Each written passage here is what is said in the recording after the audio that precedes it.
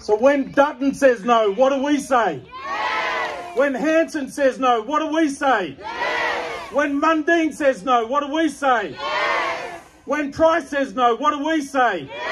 What are we going to say on the 14th of October? Thank you, Canberra.